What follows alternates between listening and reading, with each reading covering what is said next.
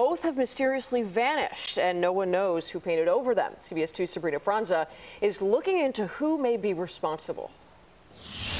We're from New York, came all the way out here to see Juice WRLD. From near and far, video and photos provided to CBS 2 show some of the thousands that came to visit this memorial of Juice WRLD. The American rapper died in 2019 of a drug overdose, his image painted next to the one of DJ Frankie Knuckles. Now, wouldn't even know they were there. And any piece of artwork that has that kind of power should be protected. LeVar Horde is the founder of Beeline Project, managing a series of murals along Hubbard Street in the West Loop. I was definitely disappointed that we're in a city that does not value art. A huge claim. We asked the Department of Streets and Sanitation if they were responsible. They said no. Union Pacific runs along the same viaduct. They told us they didn't remove it either.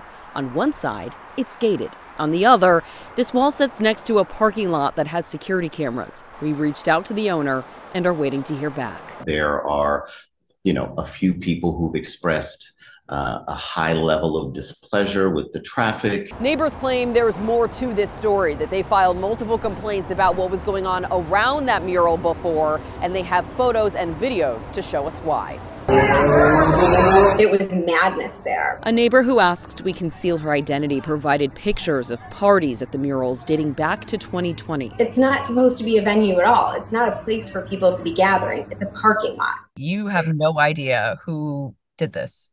None of us do. And the funny thing is is that we all wanted so much for this to be changed for something to happen in 2020 in 2021 but in 2022 2023 nothing's really gone on. Advocates have vowed to repaint the murals the details still to be determined. In the west loop sabrina franza cbs 2 news